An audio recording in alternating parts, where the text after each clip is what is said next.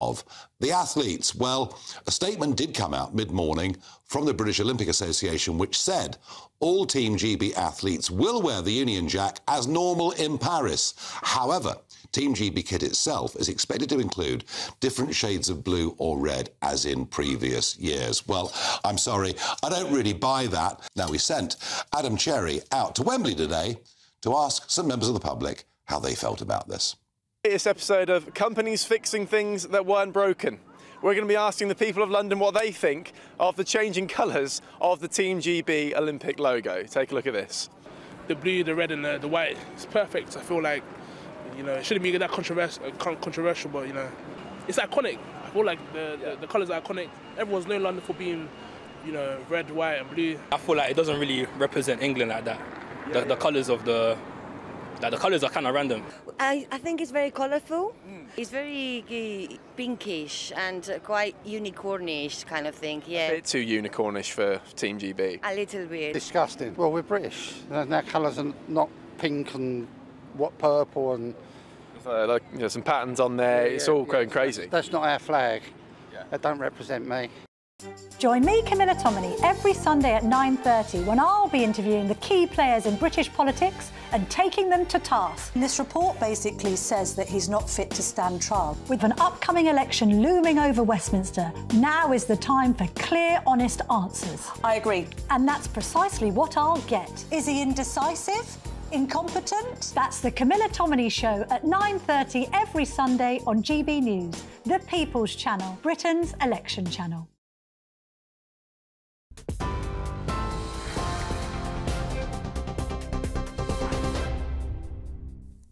Good evening. The top stories this hour. Angela Rayner says she'll step down if it's determined that she committed a criminal offence over her tax affairs. It's over the sale of her council house in Stockport a decade ago. Questions have been asked about whether she paid the right amount of tax and if it was her main home.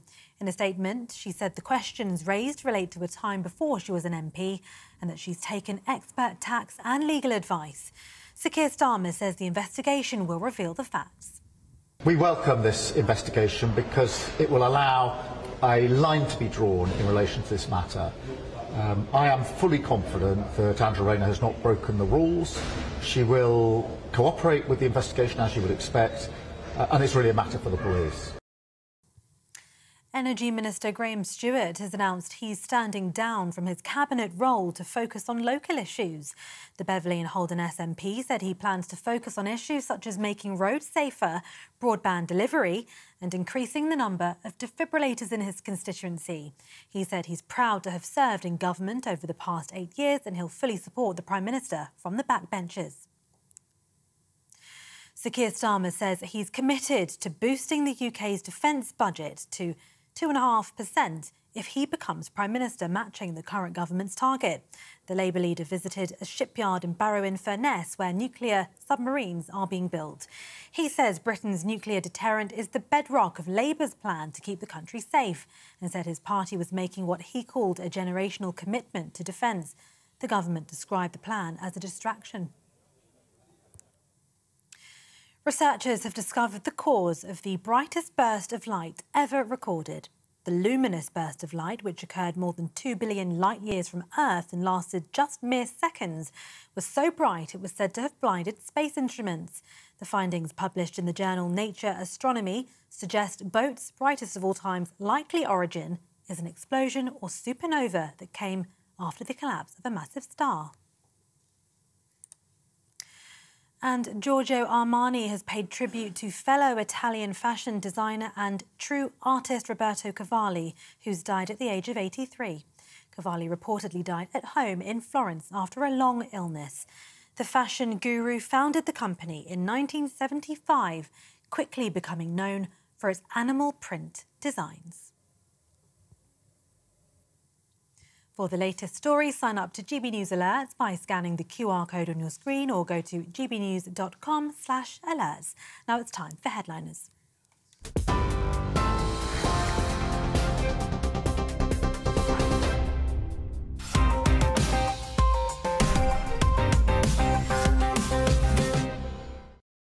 Thank you, Tatiana. Hello and welcome to Headliners, your run through the next day's newspapers with three comedians. I'm Leo Kearse, and tonight I'm joined by the People's Gammon, Paul Cox, and a man who can't have gammon for religious reasons. It's Josh Howie.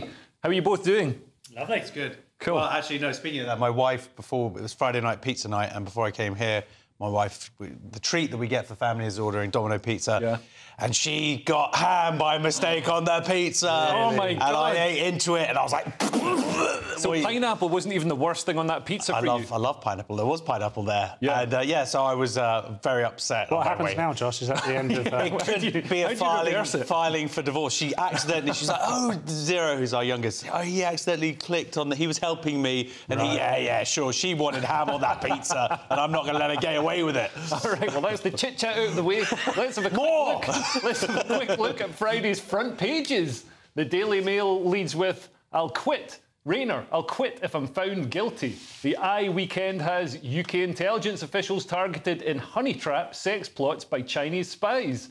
The Guardian leads with End cruel prosecution of carers, Sunak urged. The Sun has Nightmare. That's about Gordon Ramsay's uh, pub being squatted, I believe. The Telegraph has Rayner, I will quit if guilty over house row. And the Times has pressure on Starmer as police look into deputy. And those were your front pages.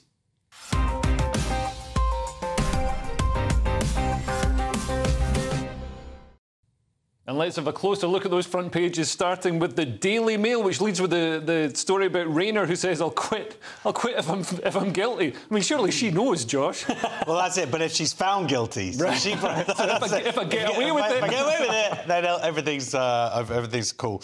So everything's kosher apart from my pizza. So, um, so yeah, this is the story. It's sort of obviously blowing up ever more. I think they was hoping it would go away a few weeks ago, and now it's come back. Um, uh, at least she's not. She doesn't really have a choice here, but she's not being like too much of a hypocrite in terms of, you know, she's called for for uh, the investigations into Tories, including Johnson. So she can't really go, but oh, leave me alone. So she had to go. Yeah, okay, fine, I'll I'll go along with it. She seems obviously pretty confident. Uh, the issue seems to be about whether she provided false info for the electoral register in around 2010.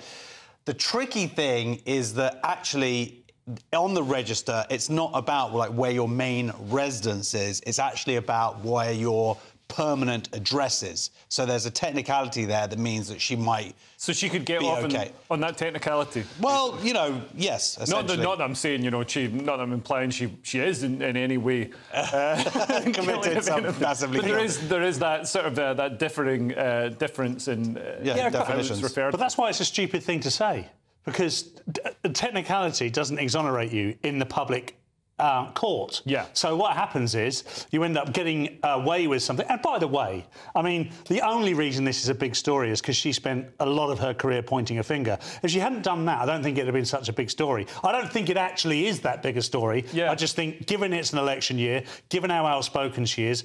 Given the things that she said and done, she's put herself in hot water. It's politics. It's why she said this. But if, unless she gets 100% cleared, Yeah. then it's always going to hang over and it's going to cost the Labour Party a little bit. Well, yeah, they might only have a majority of 97. well, yeah, my, my gut reaction when I first heard about this, I was like, this is just a nonsense over nothing. I mean, you know, she's a champagne socialist with uh, with multiple houses. You know, what Labour politician isn't? And, uh, you know, f- fair enough, she's made an error filling in forms or she's tried to, you know, uh, wh- whatever. It's not much of a big deal. But then, yeah, I remembered she was pointing the finger at Boris for, for having a slice of cake or being ambushed with, with with a cake. And, uh, yeah, it does, like, like you say, Josh, it does seem to be uh, hypocrisy. Well, look, yeah, there is hypocrisy, and as we know, everybody, including myself and including people watching this, can be guilty of hypocrisy. Yeah. Like you say, Paul, she went out there, pointed that finger.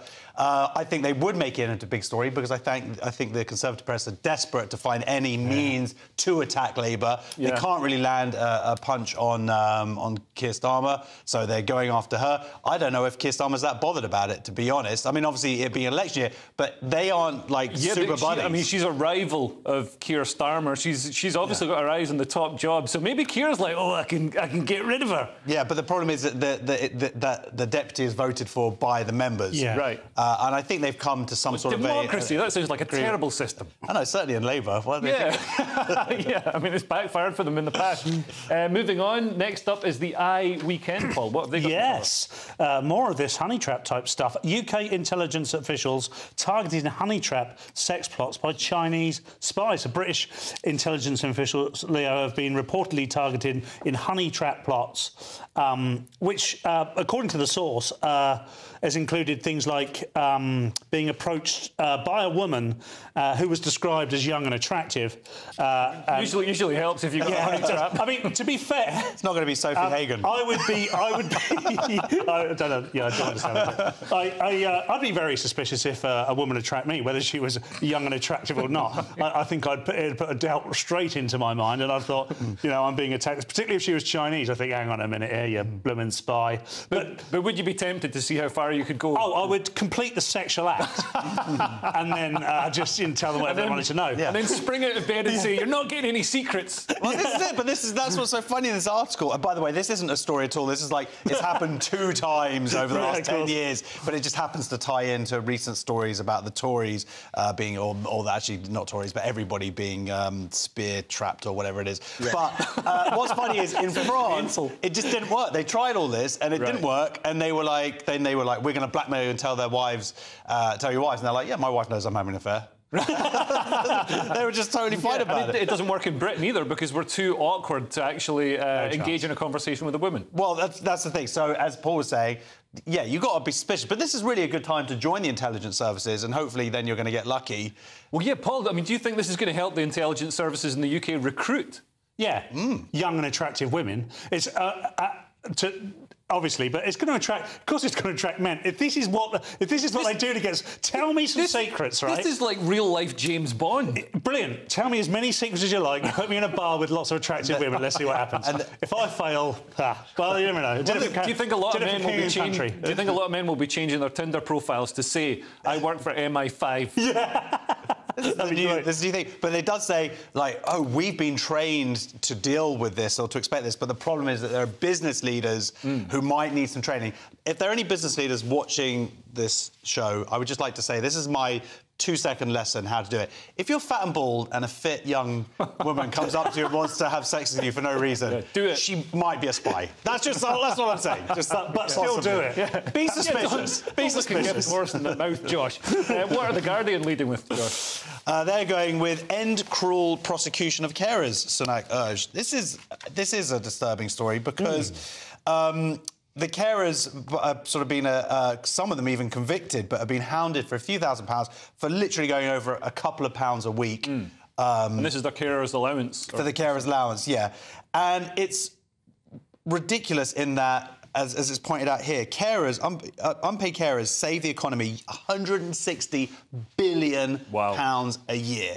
Well, that's, that's assuming we'd pay them. Well, well, no, I mean, what? Yeah. So the it, it- it's not like these people are living it up. Yeah, You yeah. know, they have very stressful, very, very tough lives. And some of the amounts are as low as apparently one man was convicted for 30 pence a week. Yeah. Which is just, you know. Whereas, whereas of course, billions uh, are going, uh, are being lost in the trying to re- get our taxes by the richer companies or by com- uh, by companies, by rich individuals. So the idea of just going after these easy targets, I don't know if it, why they would do so. I mean, it's just Yeah. this kind of whether it's the inhumanity of just people filling in forms, Well, or whether it's it- to boost their numbers. I think it's a, it's a process, and when they see that there's a discrepancy in the amount, then it automatically triggers the process. But it does seem that you know this process could be applied a bit more judiciously, Paul. Of course it could, and it's you know it's it's what it's what big government's all about, isn't it? Not understanding what's happening at the sharp end of things. Yeah. And we should be measured as a nation by the way we treat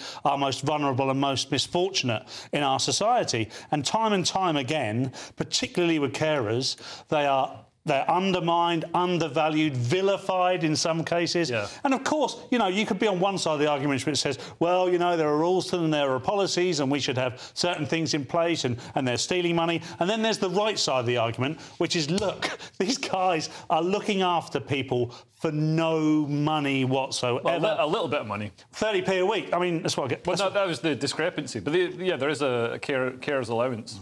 Yeah, No, it not, is a that, little- not that what's it bitter. cover? Not that I'm bitter as a taxpayer. No, of course. But I always think that something like, you know, I'd, I could turn a blind eye to something like this quite happily. Yeah, yeah. If I was in charge of a department like this, I'd be like, how much is that? Oh, they, we've overpaid him by five grand. Yeah. Don't worry about it. If you were a jury, you wouldn't be like, yeah, send this man, send this man. There will, of chains. course, be some bad eggs within the mix who have taken advantage of the You system. sound like a post office boss. Um, yeah, and uh, that, you know, I think they're still all guilty, to be honest. Anyway, let's uh, just quickly squeeze in this one, uh, Paul. It's the, the sun. Nightmare. Gordon's. Sorry, that was, that was the only word that was in the headline. Gordon's posh eatery invaded by squatters. He's hey posh eatery. This is a pub that he owns It's worth 13 million pound. And the author of this story, the journalist, has written it in a way that makes me think he thinks I should care. I don't care whether he's got squatters in his 13 million pound pub. Why would I care? I mean, of course, it's a bit of a pain if it was my 13 million pound pub. But this is a man who's Well, made his if you're, money. if, if you're having a pint in there, Yeah, yeah, exactly. But they're don't some patrons. They're people who go in and stay all day and drink beer. These are actual squatters. I mean, if you make your living out of knock, knocking up a bit of grub and swearing at people, Yeah. I don't care if you've got a little bit of problem with your life. Okay, well, that's it for the front pages. But coming up, Iran gears up for war, sexual harassment in the NHS, and sexual entrapment in the intelligence services, which we just, just covered. we won't have it in a couple of minutes. Britain's newsroom. Weekday mornings from 9:30. It's a remarkable story, isn't it? Amazing. Extraordinary. And also, she was unflappable, apparently, Yeah. the Princess Royal. She's Just brilliant. refused to get out of the car and said, I'm not going anywhere. Extraordinary. Well, Jim Beaton was awarded the George Cross for protecting the Princess and delighted to say joins us now, along with the former head of Royal, Royalty Protection, Dai Davies. Jim, you won't remember, but I met you some time ago at the Imperial War Museum when Princess Anne was opening an exhibition to do with the George Cross and you were there reunited with her. Um, and you told me then what great admiration you had for the princess, cool under fire, but you didn't do so badly yourself. it was probably my job. And also, um, I had a wee bit of police training, not very much, but a little bit, uh, whereas uh, Princess Anne had nothing. And yet, the way she displayed it, you would have thought she'd been uh, highly trained to um, deal with any type of that situation. Uh, Even though you'd had some training, you took three bullets for the princess. You effectively stood between her and a deranged gunman. Well, I was supposed to be a protection officer, really, so um, I just tried to fuddle about. You must remember that back in 1974, there was no communication, and we were extremely lucky that Michael Hills, who was outside Clarence House and nearby, had got one of the fast police radios, um, or radios on his shoulder, so he was able to send a message out. Otherwise, we would have just been relying on the good old public to phone in and say there was something happening. Yeah, So times have changed drastically. I think the most exciting bit for me is talking to people. people who I think are ignored often by the major news channels. We're going to give news they want to hear. There's a voice there that needs to be heard. I think there's a chance here for a diversity of opinion to be expressed, which you don't find elsewhere. It's really exciting. We don't hold back. We're free to say how decisions that are taken here affect us all around the country. Only on GB News, the People's Channel, Britain's news channel. I'm Michelle Dewberry, and I'm not here to tell you what to think. I'd much rather hear what you have to say. So send in your opinions to gbviews at gbnews.com. Keep them clean, and you never know, I might read them out. With my panel here on Dewbs Co, we debate, we get stuck into the issues of the day on a show where all views are welcome, especially yours. GB News, the People's Channel, Britain's news channel.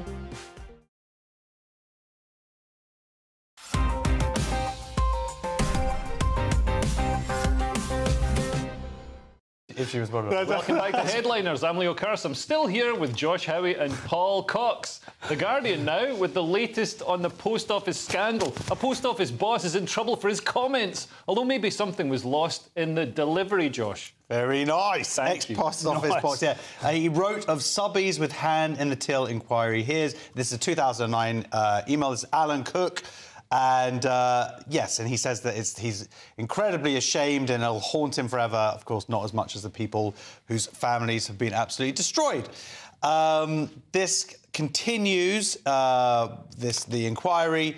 Uh, and it's the que- I think they're looking for this kind of smoking gun and the one person who is the evil villain behind it all. And I think you've just got a lot of little villains making these assumptions, whether this was the beginning of the rot and him Yeah. just kind of going, oh, yeah, it's probably just a bunch of people stealing it, and then people taking that lead and pushing. But, but it, But I mean, that's some pretty sort of wild speculation. I mean, from his his point of view, it seems to be that there was uh, th- this was a test. There was a test case. There was that, from his point of view, proved that the IT system uh, wasn't at fault. So he was under the belief that you know this IT system was robust. Yeah. And uh, and also, I mean, one of the individuals pleaded guilty. So this is who who he's talking about. And it's like, why would you plead guilty to something you haven't done? I mean, I'm I'm not a legal expert, but that seems like a bad idea. For attention, because their parents didn't like them. Leo. well, the, the, Uh, she, she was convinced, obviously, by lawyers that. that Oh, it was sorry, yeah, safer. that's probably right, yeah. I'd never trust a lawyer. Okay, well.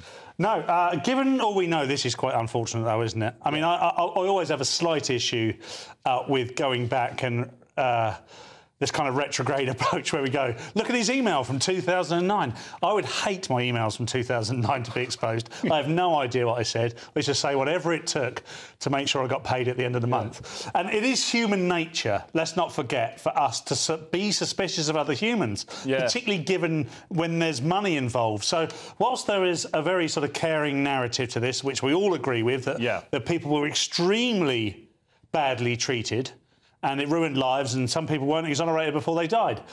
There is also a human nature to this and a flip side to this where there were people that, you know, there were information given from Fujitsu that gave the impression that their system, Fujitsu, uh, that gave the impression that. Um, you know, the system probably wasn't at fault, and because they were saving their own bacon. Human nature again, and it's at play. And we seem to, in this world of social media where you just got to keep everything to 140 characters, unless you pay for a premium and get a blue tick, then you. you- It's very easy to point the finger and just be too concise about things. Yeah, I mean, do you think this this guy's been made into a bit of a scapegoat, which is a, a goat that the Romans used to all escape on? Uh, yeah, I, I think uh, no. Like I said, I think that he's one of not a scapegoat at all. I think he is part of the problem, and I think it's, there is obviously a wider problem as well, which is this faith in technology, the infallibility of it, and it, and this kind of also a uh, disdain for his workers. And he's sort of saying that he's unaware that any of these prosecutions are going ahead. He's the boss. Yeah, like to sort yeah. of turn around and go, "Oh, I didn't know any of this was happening." Yeah, I don't believe that for Come a on. moment. No, no. That's why you're getting millions of pounds. Yeah, yeah. Well, moving on, we've got The Guardian now with good news for the left wing progressives who read The Guardian. Iran might wipe out Israel and install an Islamic theocracy, Paul. They're going to love that. Fingers crossed. Uh, US warns threat of significant Iranian attack on Israel remains viable. So, two US officials also reportedly say a missile and drone attack could be launched as early as Friday evening, which is now as we speak. And uh, that's a worry, irrespective of the propaganda war.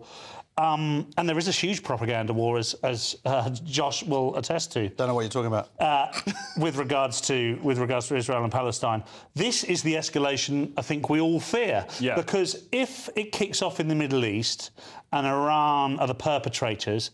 Israel are isolated. No matter what you've been told about Israel, they are, will be isolated in the Middle East, which means that we in the West, as Israel supporters, are duty bound to support Israel. And that means attacking Iran. And the West attacking Iran is a huge escalation. Yeah. Uh, we haven't got there yet. Israel um, have attacked people. Now, this is all this is all tit for tat. Let's not forget this. This is a result of, of other things. I'm sure Josh will I'll get to this in a minute. Um, but any escalation, any attack of Israel, particularly from Iran, is a big step forward into the unknown. I think. Josh. Well, yeah, I mean, uh, Iran has already admitted to uh, to sort of basically funding Hamas. Yeah, their letter came out today showing that they paid uh, 200 million towards the funding of the attack. Um, and they provided logistical help and training. So, yeah, Israel then um, uh, basically blew up the couple of their generals uh, who In- were in Syria. In Syria, yeah. Yeah. So this is going to be the retaliation for that. So as you say, but but um, I'm I don't know if it's going to. America's basically said we're going to step in if anything kicks off. Right. So it's whether Tehran really wants a war with America as well as This- Israel. This is like a dad watching two kids fight. And he- it's like, if it gets too rough, I'm going to step in. Well, also, like, they, they've got missiles and they've got technology. What they don't have is a particularly great army. The IDF is arguably the best regional army. Yeah. Uh, also, in terms of isolation, the Iran is, you know, is against Saudi Arabia. Yeah. And so actually, there's a sort of tacit kind of agreement. And, and a lot of the countries in the Middle East that, you know, maybe 40 years ago would have been uh, wanting to join the fight against Israel are actually now uh, economically uh, or, or just for, for reasons of diplomacy, um, you know, not wanting to get involved and, and really wanting this to simmer down. But it is it is scary, and I think it's most scary, of course, for the people living in Israel because people forget that it's it's a tiny, tiny sliver Yeah. of land, size of kind of Wales. Yeah. Uh, and so it, the, and they are very close to each other. It's in, in that way. Yeah. Um, so any missiles can slip through. Israel is being bombarded still from Gaza. It's, it's got Hezbollah up in the north sending missiles over. There are people I know who are just um, living their lives under this kind of constant running to bomb shelters and stuff. That never gets reported in the Yeah, press. yeah. Um, and I think obviously people are, are going to be very scared this evening. Yeah, well, let's hope it all calms down. We've got The Independent now with a story about sexual harassment in the NHS. It really is bad. I saw a documentary about it called Carry On Nursing, Josh. Yeah, I was thinking they maybe they should do like a woke version of Carry On. Imagine that. Carry On. Uh, Yeah, it's called 24 Hours in A&E. Is that what it, okay? Do they? They does, does anyone get their boobs up? Uh, occasionally, but I mean, it's, u- it's usually it's usually for uh, an official medical treatment. Like I a will give it a- mastectomy. Yeah. Uh, maybe I won't check it out. Uh, so NHS bosses, yeah, boss calls for sexual harassment to be stamped out as ed- uh, health service faces Me Too movement. So this is very 2012. I thought that we'd sort of done the Me Too movement. I thought that we'd all kind of come together as a society and go, you know what, sexual assault uh, against women is is, uh, is bad. Nobody found out in the public sector. I, I guess not. Uh, when you're reading the article, a lot of it is unclear as to where this is coming from. Uh, is this the public or is this from sort of fellow NHS workers? It Yeah, seems like it's majority from the public. When they talk about, um, it seems like there's one in 26 uh, reporting se- sexual harassment from a work colleague, but it's one in eight uh, from general public. So there's an issue there. One in eight from workers. One in eight workers. 58,000 reported experiencing unwanted sexual behaviour last year. Yeah, yeah, but but, but it's one in 26 reporting it coming from other workers. Oh, see- so it's coming from member, members Yes, of the public and that- going and that's hospital. what's not what's, that's not really fo- so there's a few examples here that are very disturbing uh, uh, and are involving co-workers but it Right. does seem like the majority of the stuff actually is coming from the general public and I don't know how you deal with that So, Paul, we've just got a degenerate British public. which we knew anyway.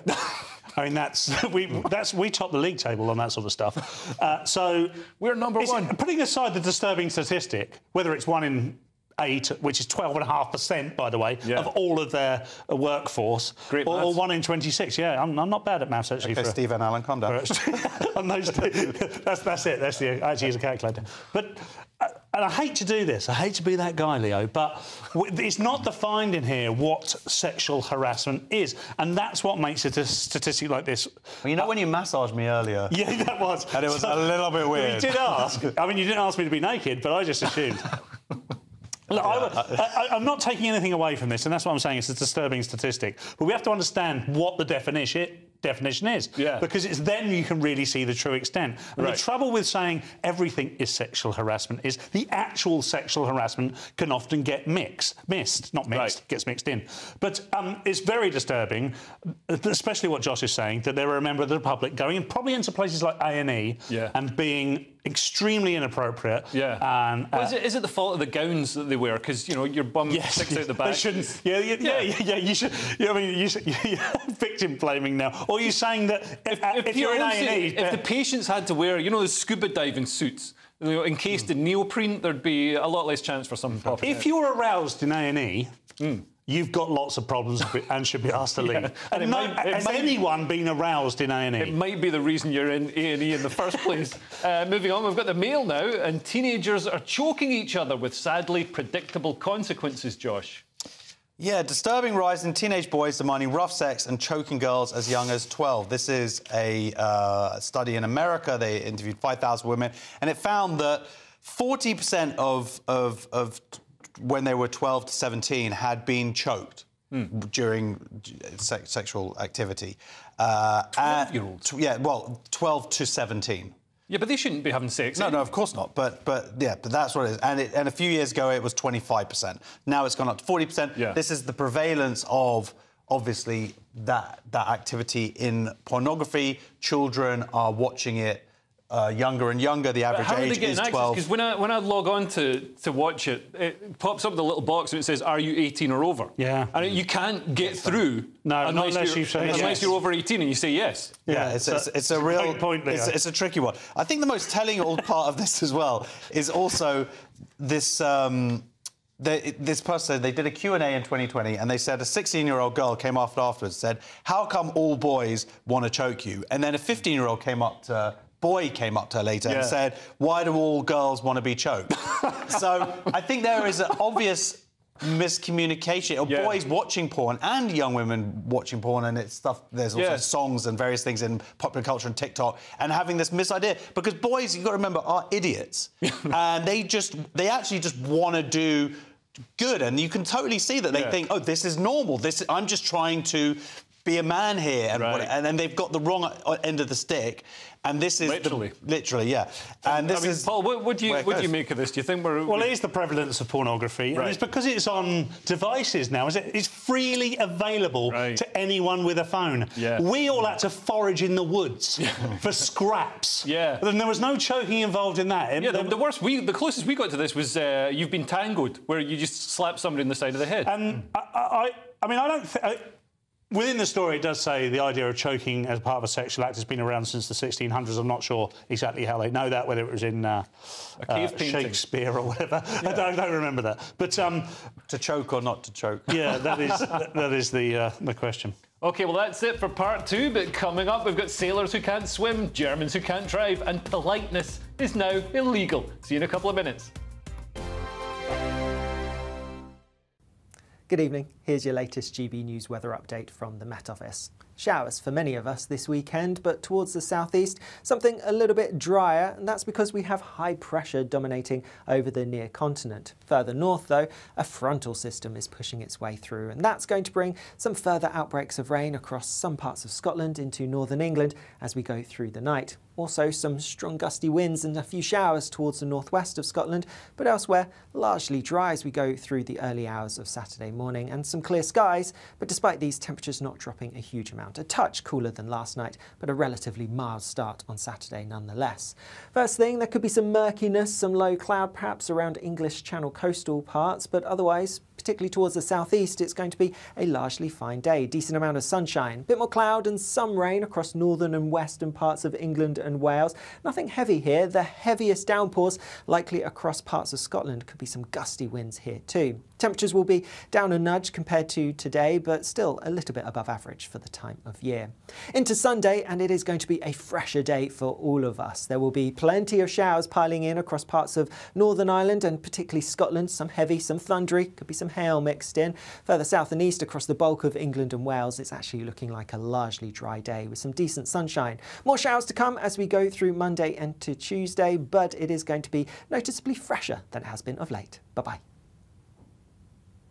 2024, a battleground year. The year the nation decides. As the parties gear up their campaigns for the next general election. Who will be left standing when the British people make one of the biggest decisions of their lives? Who will rise? And who will fall? Let's find out together. For every moment, the highs, the lows, the twists and turns. We'll be with you for every step of this journey. In 2024, GB News is Britain's election channel.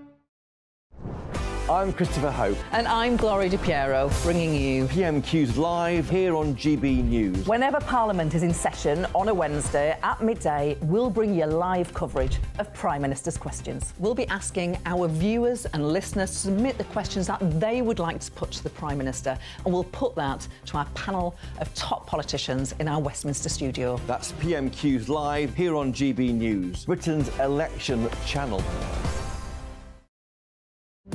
GB News is the home of free speech. We were created to champion it, and we deliver it day in, day out. Free speech allows us all to explore and debate openly the issues most important to us, our families, and of course, the British people. Having challenging conversations to enlighten each other. Which is why we hear all sides of the argument.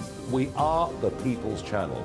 We will always stand by the freedom to express yourself. On TV, radio, and online. This is GB News, Britain's news channel.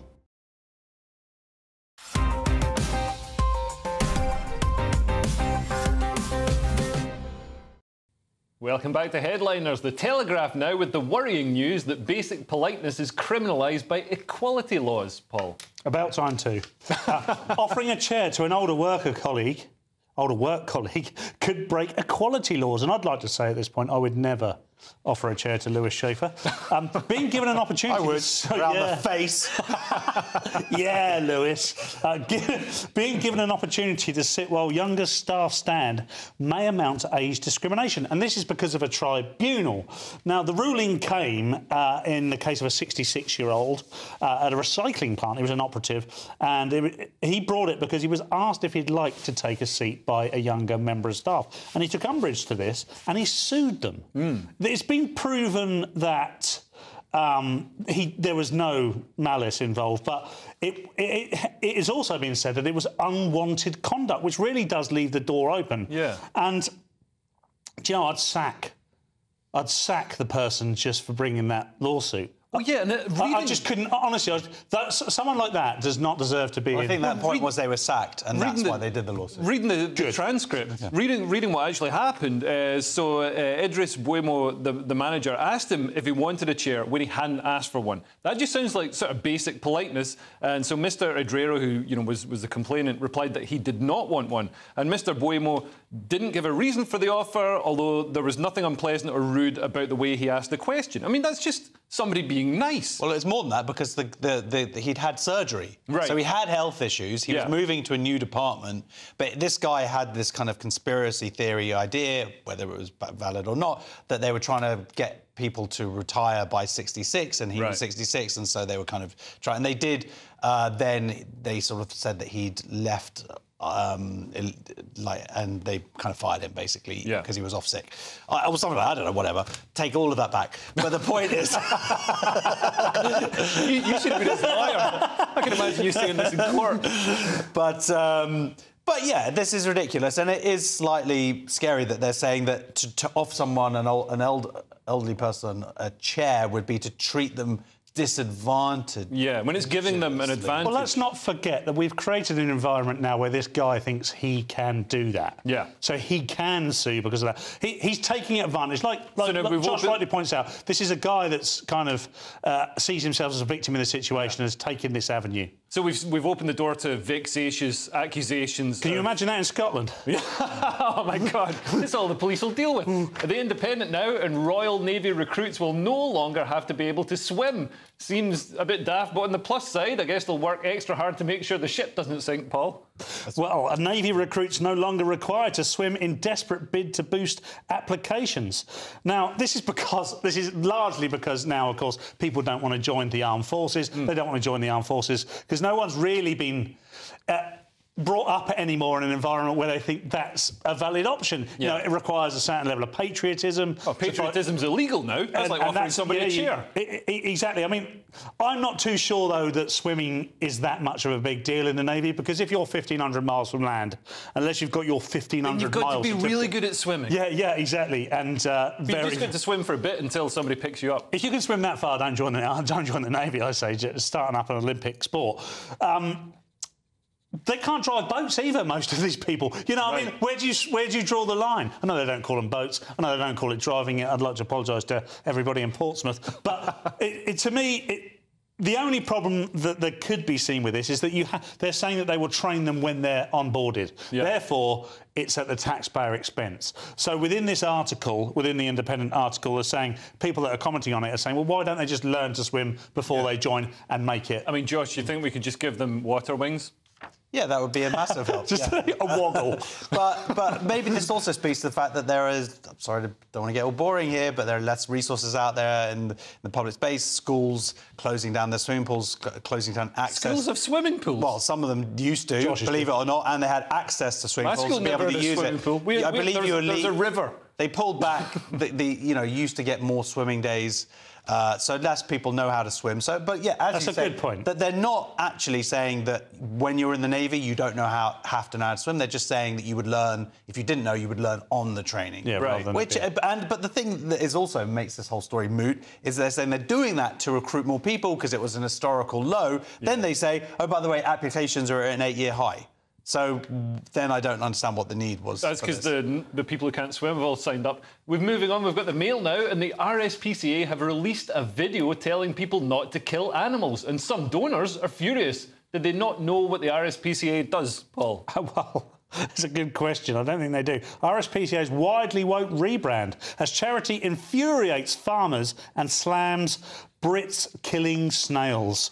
Uh, how donors stopped giving after years of ludicrous rescues, uh, which have seen seagulls saved and mountain goats rescued from mountains. Um, look, this, this is all about this story is really about woke okay a lot like the same applies to the national trust and a lot of things like that and the thing about woke is you can easily like the, you know NewsThump they see NewsThump when it first came out do you remember NewsThump it was something on facebook they, they, they were funny and then they decided that they, they'd be on the side of social injustice oh and they got a message and now they say things like you know and now they give you the uh, definition of woke on a mug or a t-shirt like you're going to wear that out like if you've got that on I don't care if you're woke. You're not cool. That would be a- that- it's not that. They'd be. A, you'd be. That'd be a red flag. You just get Yeah, beat maybe are- you'd be Maybe a date some people want to be want to be bullied at school. But my point is, that. these people aren't a- against injustice. They're just very supercilious. But this idiots. doesn't seem. We're, show, we're sh- showing some of the scenes from the video now, and this doesn't seem uh, woke. This just seems like the RSPCA stands for preventing cruelty to animals. So mm. they're showing some animals and cruel situations that they're in. I mean, these are chickens that aren't having a great time because they're, 'cause they're in a farm, and then you know they're going to end up in my dinner later. So mm. I mean, this this seems fair But, enough. it, but it's the traditional idea of the RSPCA. I think a lot of people think of it as like basically preventing cruelty for dogs and cats. Oh, and for pets. oh, and so the nice animals. yeah, the gerbils at the bottom. Gerbils understand. that's that's an urban myth, by the way. There's no way you'd put a gerbil up your up your. We'll talk. No, they're, they're lit- You're right. There's they're no way you should. Oh, they're vi- okay. No, they, they, they'd literally shred you from the inside. Oh, yeah. like the alien. Yeah, yeah, you're not You've gonna really live to into tell this. the tale. Eric, the, are you, are you a member of the RSPCA? All I'm Is saying is, there's, there are Okay. other marsupials I can okay, recommend. fine, good to know. Um, but there, there's there's another issue here raised that it turns out that the RSPCA they've received um, three and a half million from the uh, lottery. Right. And they've spent 75% or 74% of their money goes on administration and expenses. Right. And then you have what money they are spending saving animals, being a thousand pounds to to save some um, seagull from a roof, and then they saved the seagull, and then the seagull just flew off. I was like, how is that, how are you, what are you doing here? Yeah, well, that's, it can only fly because it got down off that And roof. this it was scared of heights. It's a rebrand. This is the first time they've been rebranded since the 1970s. They've done this rebrand. They've bought in this firm that have kind of gone, hey, let's bring in all these Oh, other animals and whatnot. And this is the result. Stick to cats, dogs, gerbils. Yeah, the animals that people like, not seagulls. Everybody hates seagulls. Moving on, we've got the Telegraph now with a ban on the autobahn, Josh. I know German transport minister warns of weekend driving ban and saying yes that they would one of the things might have to be a speed limit on the nation's autobahns, which is that's the best thing about Germany. That's their sort of big cultural accomplishment is uh, you can drive as fast as you like. Yeah. Uh, but to, to meet the net zero targets, he's saying that it's basically going to be impossible unless they change the law to make uh, the driving. Um, put that outside of the rest of it. And as long as Germany as a whole meets its targets, then they can still should be able to drive. But So the they're Greens g- saying no. So they're going to ban driving at the weekend just to meet some spurious net zero law. This sounds like communism. You absolutely hit the nail on the head from my perspective. I mean, because the other solution, of course, is to scrap the arbitrary net zero targets so that your people can drive at the weekend. I mean, can you imagine this? If, if we'd written this satirically 10 years Yeah. ago, this would have been a lovely sitcom Yeah. about how the Germans stop people driving at the weekend in order to meet some ridiculous target. Now, this is pure reality. Yeah. And people are definitely concerned about meeting this target and will do almost anything to make sure that we do. And I'm not sure that it is worth the effort. I'm not saying that we should. I'm not saying we should neglect the planet. This is the problem with this. This whole thing is that you, if you say that you should change the target in some way, they're saying, well, you just want everyone to die. Of course we don't. Yeah. But we've got to live here whilst we're saving the planet. and particularly in Germany, because East Germany obviously was actually communist, and one of the rules they had under that, if you wanted to buy a, a car for your own use, a personal car, uh, you had to wait years and years. It was a terrible car. It was a Trabant, and uh, and then you were put on a list as somebody who uh, you know basically wanted to choose their own route instead of taking the, the public transport that was the government telling you where you could go, and that made you a dangerous person, potential dissident. So you know this this this has the Stasi, uh, the fingerprints of the Stasi all over it, and the, the fingerprints of the Stasi are basically all over uh, net zero policy and the, the 15-minute cities and, and all that kind of stuff. We're, we're slowly we're slowly creeping into a really rubbish version of East German communism. Anyway, that's it for part three. Uh, but stay with us for the final section with fake disabled people at Disneyland, angry monkeys, and something unusual in Uranus. You won't want to miss that. We've got a picture. See you in a couple of minutes.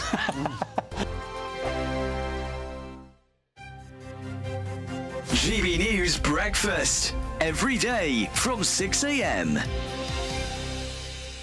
I don't think you can go and watch a Shakespeare play unless you already know it. It's Yes. almost like you have to understand the story, and the story. characters, and perhaps have even done a bit of reading into it. Because if you went completely blind, especially in today's world where we don't speak in that kind of way, um, it is, I think, probably a bit alienating. But Dawn, Dawn is saying it is alienating at the moment because of the lack of uh, representation. You know what, the actual phrasing they use, right? Okay. The disproportionate representation um, propagated white, able bodied, heterosexual, cisgender male narratives. I'm sure there's people sitting in a room going, What's the most ridiculous thing we can come up with today? Yes. But are really just chuck all these words at it, cisgender, and it's just insane. Mm. Of course, Shakespeare was what it was back in the day, and that's why it is. It's mostly blokes, and they're mostly white. And lots of speculation that he was actually gay, isn't there? Because he never really saw Anne Hathaway very often and stayed away a lot of the time. I don't know. He, maybe he was a big. He might have gay been icon. transgender for all I know. I mean, I, I don't. Biggins, I'm looking at you. No, I think you're right. I mean, you know, I think uh, that goes for the profession too. Mm. Uh, I mean, it, it's. Uh, I, I, I do think we. I mean, I remember seeing Macbeth in London with Judi Dench and Ian McKellen, and it was one of the most exciting Wow. evenings ever. And it was a cold night at the Donmar Theatre, outside and inside, and it, that gave it atmosphere.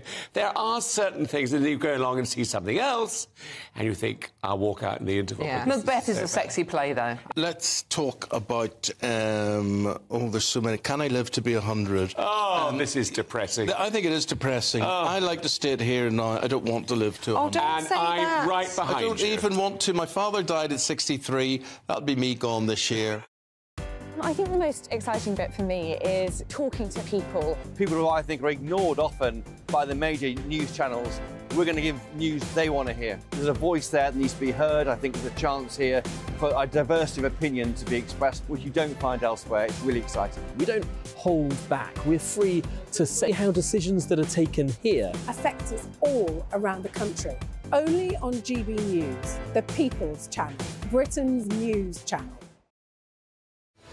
I'm Patrick Christys. Every weeknight from 9, I bring you two hours of unmissable, explosive debate and headline grabbing interviews. What impact has that had? We got death threats and the bomb threat and so on. Our job is to do what's in the best interest of our country. You made my argument for me. My guests and I tackle the issues that really matter with a sharp take on every story. I'm hearing it up and down the country. That was a beginning, not an end. Patrick Christys tonight from 9 pm only on GB News, Britain's news channel.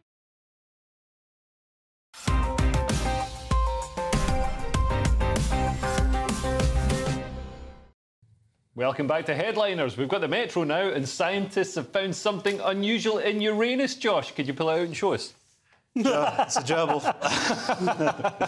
Uranus, Uranus has something expect, unexpected deep inside it. The whole purpose of this story was to do that headline. And now we'll move on to. A, there's a story like this There is about Uranus every week, I just so they can do that headline. That's all it is. Uh, basically boffins. No, it's actually this is scientists have uh, from looking at Voyager went past it, and essentially when the when the solar system was being formed, um, gaseous planets were kind of being created, sucked in matter, and that matter, some of it then reacted to this methane to create uh, methane bit like like a sort of not not even like a solid like a sort of spongy thing and water. So what basically uranus is methane and water I know that and we are going to and we're going to go there and i imagine we're going to plunder it right because we need those things We're going to plunder Uranus. i can't believe you did my joke all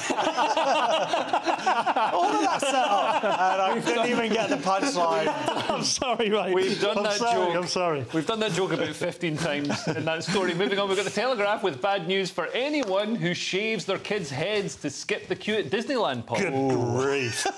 Disneyland clamps down on visitors who pretend to be disabled to jump queues. Disneyland has announced it is overhauling its rules because visitors are abusing the system by pretending to be disabled in order to skip the lengthy queues. And this, this was a plot line in The Office. It, it absolutely was. And of course, you know, with 99% of disabilities being invisible, this is a very difficult job, isn't Yeah, it? but surely the invisible ones probably don't, you know... Need to queue jump. Yeah, you don't need to queue jump if it's an invisible... Well, if you feel sad, you might want to get to the front.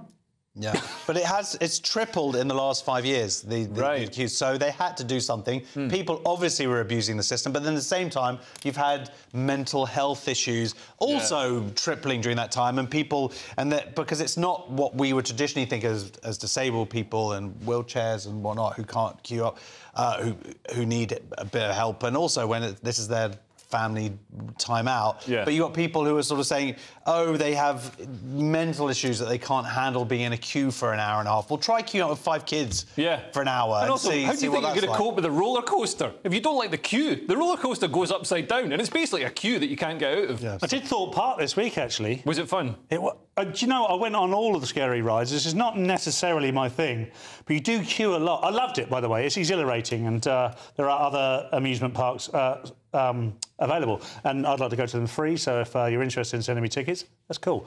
But, uh, uh, sorry, what were we doing? And, and I, I, but. I mean, how diff- this is difficult, isn't it? Because there was a time when it was clearly obvious Yeah. Um, why somebody was being fast tracked. And that's fantastic because they've been giving an opportunity. Now, of course, I do understand the point of my little anecdote was that, you know, I did queue for an hour here and an hour there, and you'll spend, you know, so much money, and all day you'll get on about five rides because. You know, six or seven hours of that can be queuing. So I understand what the problem is. But the other way to get around it is to pay fast Yeah. track. Yeah, you pay can for do fast it. track. Yeah, Yeah. you can. When, the- mental- when there's mental health loads of you. But I was going to say, I believe this is, I believe Ken Loach is going to be doing uh, a movie about this, about I their- because now because they're going to be questioning people's disabilities, and so someone's going to unfairly. right. Yeah. I, Daniel Blake, uh, want to Go to skip the queue at Disneyland, Disney. We've got The Guardian now, and apparently the lead singer of U2 is surprisingly violent, Josh. Yeah, Bono, Bonobos, Bonobos. That's guy. Bonobos, Bono. Yeah, that's what. I've never heard of Bonobos. Do you know? Have you heard Bonobos? Bonobos. I don't know Bonobos. I feel like an idiot, as like always. I know a lot about bonobos I didn't, I've never even heard of you. That was a joke, but No, they, it, so- they- have Oh. a, they're- because chimpanzees, like basically different uh, primates have, have different uh, mating rituals. But we yeah. don't have. we anyway, don't can you get them up your into bottom? Anyway, bonobos are not the peace-loving primates primates that once thought study reveals. I didn't even know what that they existed, so I really didn't know that. And uh, we know that, that, that there's this thing that chimpanzees can be actually very violent, kill, Oh, yeah. maim, sexual assault, Eat, touch, eat each other as well as as well as their, their prey. prey. So, but it turns out these bonobos, hopefully pronouncing that right, uh, they are more aggressive towards each other, but they are not aggressive towards female bonobos. So maybe they should go and work in the NHS and help out those issues if you Yeah. were watching earlier. Great idea. Well, let's just squeeze in one more story. We've got the mail now, and clocks in the Arctic are apparently designed by Spinal Tap. They go all the way up to 13. It's an incredible story, this. Uh, there's a really amusing part to this story as well. I'll get to it in a minute. Uh, Norway's Arctic North wants to bring in a 26 hour day.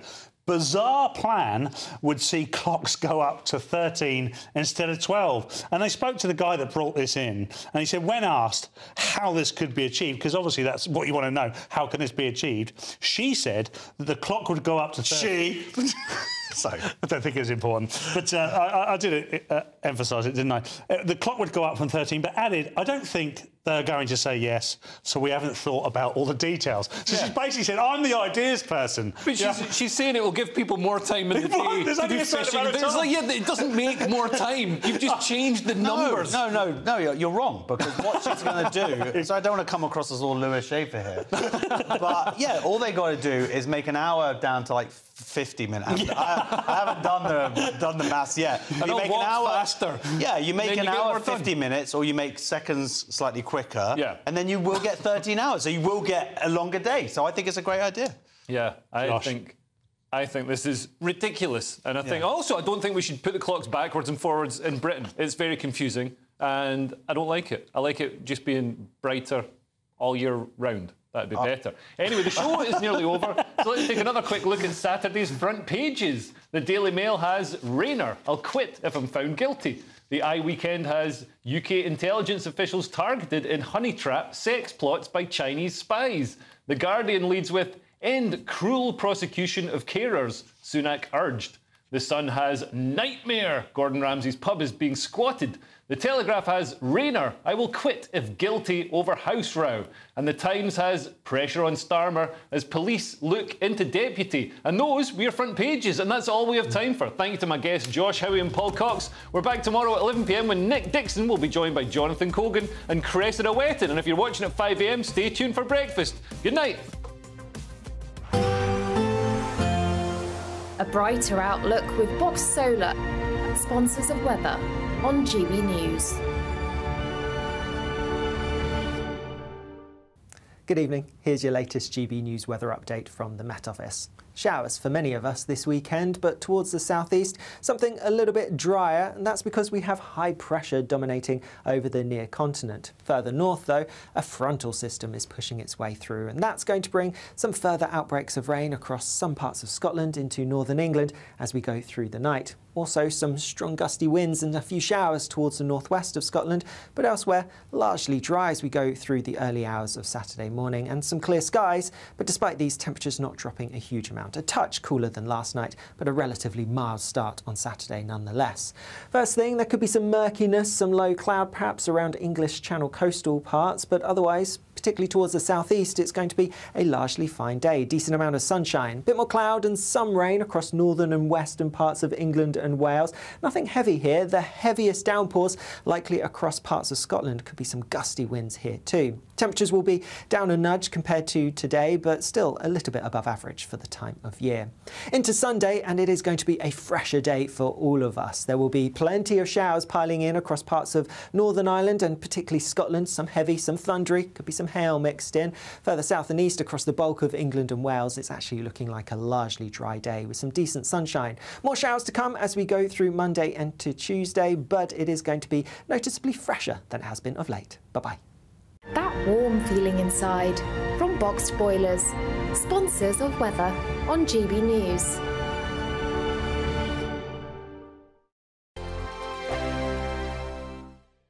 This is your chance to win our biggest prize of the year so far. First, there's a totally tax-free £10,000 in cash for you to spend this summer. Then, we want to send you on a bespoke seven-night small boat cruise for two worth £10,000. Thanks to Variety Cruises, you'll be able to choose from any of their 2025 Greek adventures and discover Greece like never before. And with flights, meals, drinks and excursions included, all you have to do is relax. We'll also give you these terrific travel treats for another chance to win a prize worth over £20,000, text prize to 63232. Text costs £2 plus one standard network rate message. Or post your name and number to GB04 PO Box 8690 Derby DE1 9TT. UK only. Entrance must be 18 or over. Lines close at 5pm on the 26th of April. Full terms and privacy notice at gbnews.com forward slash win. Please check the closing time if listening or watching on demand.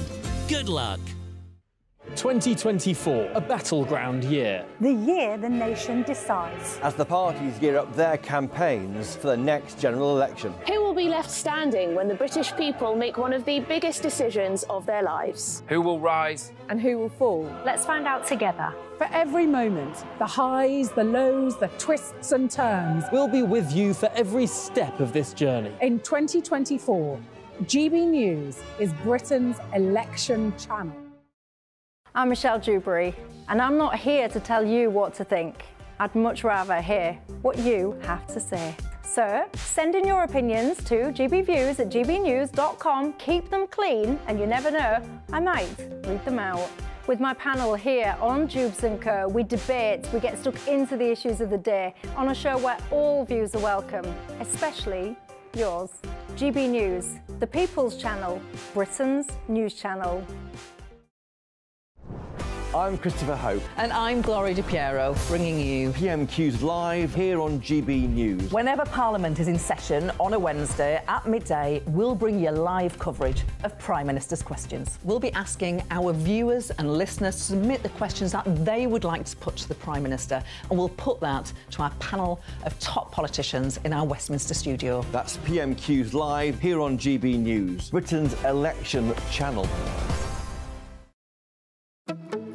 Good afternoon, Britain. Good afternoon, Britain. Weekdays from midday, we bring you the most compelling stories from across the United Kingdom. And why it matters to you. From your doorstep to our inbox. That's right, we want to hear from you. Good afternoon, Britain. Only on GB News, the People's Channel, Britain's news channel. I'm Nana Akua. This is GB News, Britain's news channel.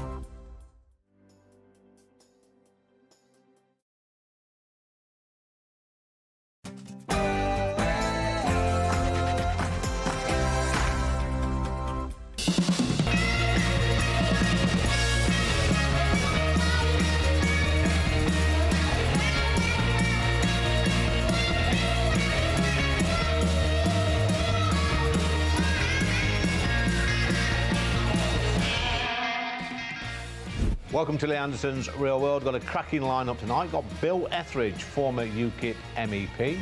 Matthew Stadlen, political commentator. He's our left in the corner. He's going to be going head to head with Benedict Spence. We're going to go back in the day with former Wilfred Emmanuel Jones. We've also got glamour model Danielle Mason. But first, let's go to the news.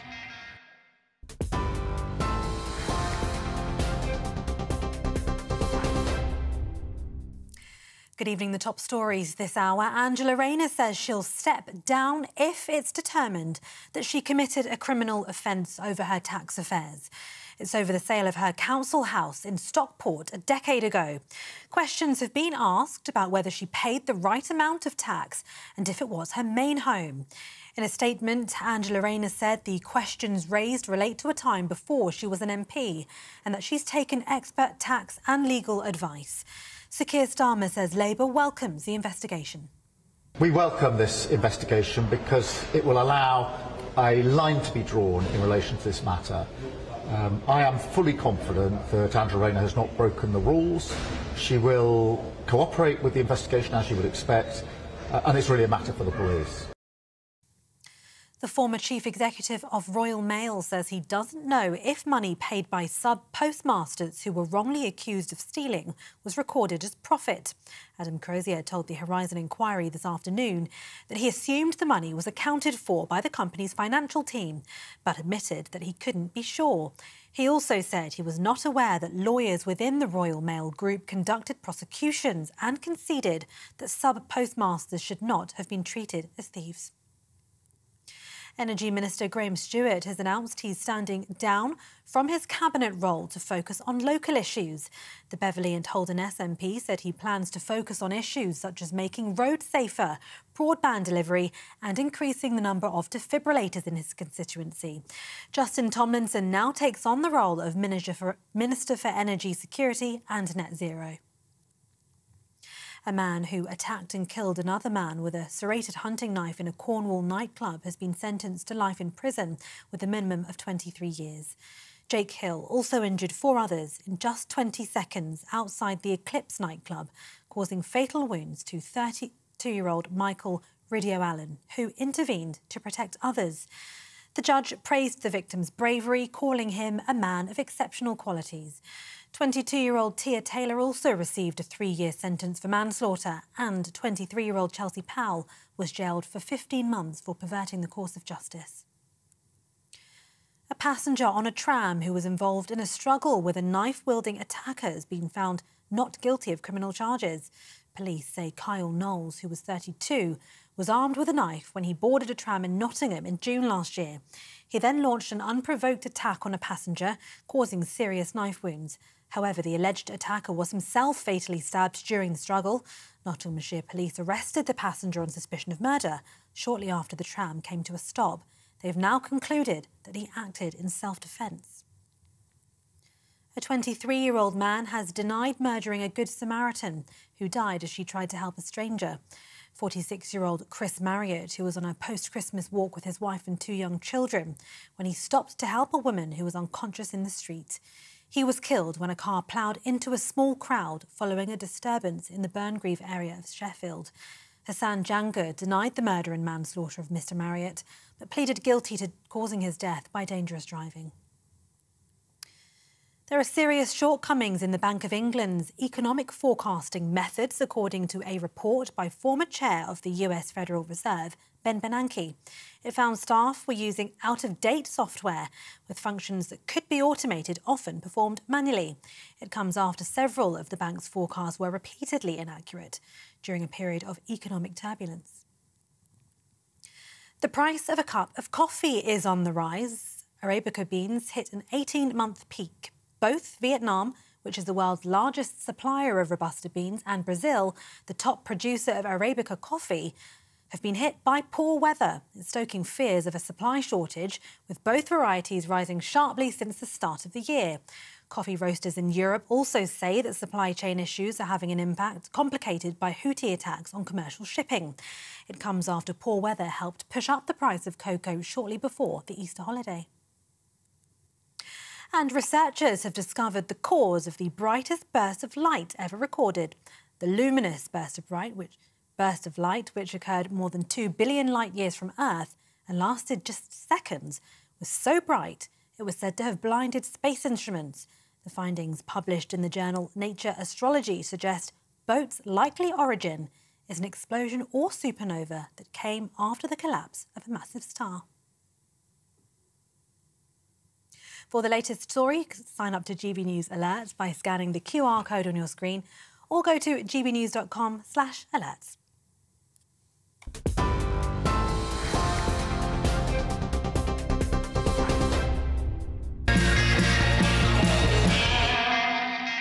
Welcome to Lee Anderson's Real World, and joining me tonight for a lively debate is Bill Etheridge, former UKIP MEP, and back has left in the corner for about the 10th time. Got Matthew Stadlen, thanks. He's a bit of a secret Tory, but he's not let onto that yet. Listen, ECHR guys this week poking their long noses into our business once again. They are uh, they are demanding that we do more on climate change and saying it's a breach of our human rights. Complaining, I think a bunch of old ladies went over to, from Switzerland, complaining about heat waves. Looking at the weather out there, I think we could do a bit of a heat wave at the moment. We'll give our tourist industry a boost, especially in places like Skegness, where I go for my holidays. But Bill, is this a step too far? Should they butt out and should we leave the ECHR? We should have left the ECHR years ago. The whole concept is about keeping a shared space of European laws and values. We voted for Brexit. Now, if you say to the people in the street, we voted for Brexit, but we're going to maintain a shared space of European laws and values, they say, what are you talking about? What's the whole point of it? And when you get judges in place who are appointed by the elites, and you put them into a lovely sounding thing, European Court of Human Rights. It sounds fluffy, but actually it's polishing a turd. The reality is they are there to suppress the wishes and the views of democratically elected governments and people. We should have nothing to do with it, and any human rights we need in this country, we can do our own Bill of Rights. There we go, Matthew. Own Bill of Rights, which uh, covers pretty much everything that's in the ECHR. Why can't we do that? Well, your former boss, Rishi Sunak, the Prime Minister, he's been describing the ECHR as a foreign court. It's not. It's an international court, and I'm actually proud as a proud Brit myself. it is a foreign Well, court No, it's an international it's court. Strasbourg, that's in a foreign country. It's, a, it's an international court. We subscribe to it. We help one of our greatest Britons of all Here we time. go, the Winston Churchill. Well, line it's true, isn't it? It might be This is like 80 years ago, Matthew, It might be painful for you to recognise, but actually, Winston Churchill was instrumental in the setting up of this court. Now, why should we stay a part of this convention?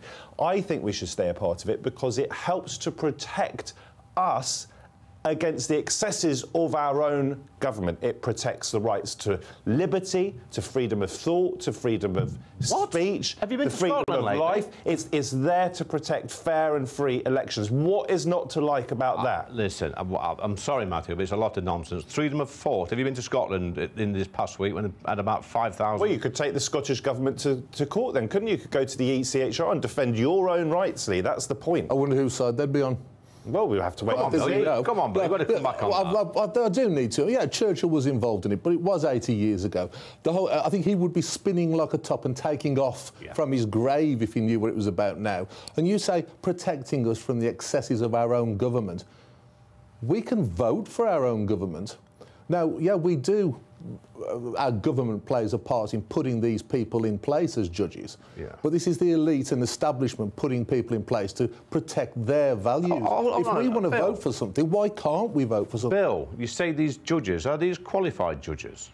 Well, they're qualified to be politically correct and they've got the right views and they pass the criteria of. Come on, guys, come on. This is a bit like a pub conversation. I know we're in a Look, pub. Let's oh, be yeah, serious. exactly Let's be serious for a moment. I don't know what either of you two guys. So I imagine you see yourselves as patriotic. I'm certainly patriotic. I don't know what it is that you guys like about Belarus or Putin in Oh, Russia. here we go. Do we? Well, everything Oh, I come about up with, you say, "Oh, here we go." Australia isn't in Europe, Lee. Oh, The point about Putin and the point about Belarus is they are in Europe. And they are the countries that are not signed up to the ECHR. We don't want to become a state like those guys. We, or we don't want to side with Are them. you, are you genuinely saying, Matthew, that we could not have our own Bill of Rights and reform the Human Rights Act so it is much better and stronger and goes further than the ECHR? This is about. Are we not capable of is- doing that I'm sure in that we- place over there? I'm sure we are capable. Th- Well, this is to protect us against our own government if it infringes on our rights. You could have a democratically elected government that That's the does key word, terrible. Let me democratically yes, I, elected. Of course, and I'm a Democrat, and I could understand, by the way, although I voted. But you're not a Well, uh, Democrat. Well, hang on. Although I voted to, to remain, I understood the point about the remoteness of European democracy. I understood that was a reasonable argument, in my view, for leaving the EU. But the point is, you can have a democracy that actually then goes after minorities and, and, and in, in an illegal way. And this ECHR business is what helps to protect us in those circumstances. It's actually really important. So it's this cause is to protect us from our own mistakes of voting for our choice of government. Let's So imagine, it's- let's it's to imagine our protect us government from our own views. But let's so take this seriously. It's a serious point. Let, I'm, I'm half Jewish, right? Let's say that we had a, a, a democratically elected government that went after Jews. In those circumstances, the E ECHR would help to protect me as a Jewish person. Let's say they went after people who from Nottingham. You could say, well, that it's democratically elected, mm. so it should. Ha- the ECHR is an important international checks and balance what? system In- on that. In that fluffy world that you live in, Matthew, that might be all well and good, but the ECHR are not doing much to protect the Jewish people that are feeling threatened and intimidated on Parliament Square when we have these vile, nasty, you know, these pro-Palestinian marches. What are the ECHR doing then? The police are there Oh, to we go. protect these people. Well, of course they are. They're there to protect. The, and I would be the first to say if the police or individual police officers get it wrongly, then I would condemn them. But I don't think it's for the ECHR to come and tell our police exactly how to do that. it's for the ECHR to tell us and Switzerland, for example, that we're not pursuing climate change agendas rapidly enough because they think we're victimising our own people. Have they taken into account that this climate change agenda, this net zero madness, will actually plunge hundreds of thousands of people into poverty? How about the human rights of those I people? could understand They are the sticking to the agenda Listen, of the guys, I elite. could, I could understand the frustrations of the feeling of overreach on the part of the ECHR. and no institution is, is perfect. You say this climate change nonsense. The overwhelming majority of international scientific scientific opinion is oh. that Oh. climate change is real. Why Who do you fund- guys? Why are you guys funds the- groaning? Let's be adult about this. When you say follow, we've heard this, follow the science. We heard this for the last few years. Follow who funds the science is far more important. A scientist, much like anyone else, will come up with a conclusion based around who funds them. So you don't. We had this you think international with- science is corrupt? Do you? I think anything that has large amounts of money going Where's into your it might be evidence? What report are you showing me that international science is corrupt and that they are leading us into some sort of net zero conspiracy which is designed to make poorer people poorer? Come on, guys. It's designed to make rich people richer. Well, let, let, let, me- let me chip in here. I feel a little towards bit isolated here, Bill. Let- let- if we're going to talk about net zero, Matthew, let's talk about some facts. You know, and I've said it before on this show. If this country of ours sunk into the into the sea tonight, and everything went out, the lights went out, everything closed down, it would not make a blind bit of difference to this planet in carbon emissions. None Less than 1%. It wouldn't make any difference whatsoever. So we've got these unelected officials, and they are unelected, dictating to us in this country. And can you understand, Matthew, why, after we've left the European Union, when we get unelected officials telling us what to do, why people in places like Ashfield, where I represent, are absolutely furious? Let me explain to you. So you've got a drug dealer down the corner of the road, and I've got no time for drug dealers. And the drug dealer says, well, there's, I might as well carry on selling my drugs, because if I don't sell the drugs, someone else is going to sell the drugs. The point is, how can we possibly, and we, we should be leaders in the world, because we are a great country, we've got a great history, we've got the sixth biggest economy or whatever it is in the world. We actually still do have something of an international reputation. How can we possibly go and lobby China and India and elsewhere and say you've got to be doing more on climate change if we throw our own climate change goals out the window? We've got to be we've got to stand up and be grown up. Do you think they take any notice when we lobby them? When we tell them, by the way, we had our own fantastic industrial era that got us great standards of living. By the way, you emerging nations, your economy, We could put our heads in the sand. Yeah. you- sure. We, look, we can put our heads in the sand and pretend climate change isn't real, that it's all a hoax, and we can't make any impact. We could do that, and the people who will suffer are our children, our grandchildren, and so forth. But no one says climate change isn't real. It it's is the real, amount of man-made climate. Well, ma- of course it is because we put cows in the fields that, that give off this methane when they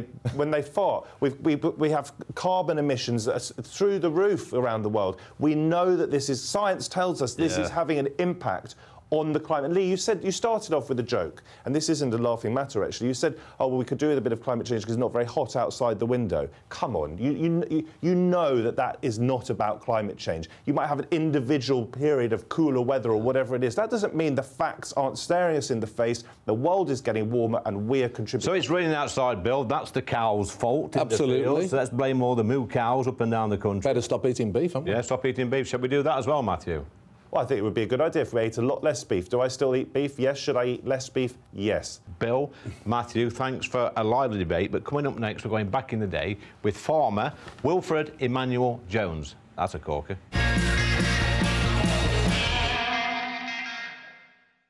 Good evening. Here's your latest GB News weather update from the Met Office. Showers for many of us this weekend, but towards the southeast, something a little bit drier, and that's because we have high pressure dominating over the near continent. Further north, though, a frontal system is pushing its way through, and that's going to bring some further outbreaks of rain across some parts of Scotland into northern England as we go through the night. Also, some strong gusty winds and a few showers towards the northwest of Scotland, but elsewhere, largely dry as we go through the early hours of Saturday morning and some clear skies. But despite these temperatures not dropping a huge amount, a touch cooler than last night, but a relatively mild start on Saturday nonetheless.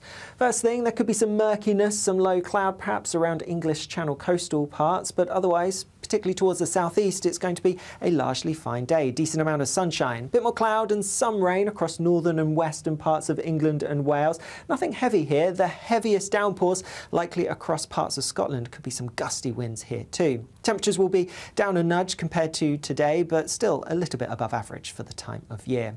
Into Sunday, and it is going to be a fresher day for all of us. There will be plenty of showers piling in across parts of Northern Ireland and particularly Scotland. Some heavy, some thundery, could be some hail mixed in. Further south and east across the bulk of England and Wales, it's actually looking like a largely dry day with some decent sunshine. More showers to come as we go through Monday and to Tuesday, but it is going to be noticeably fresher than it has been of late. Bye bye.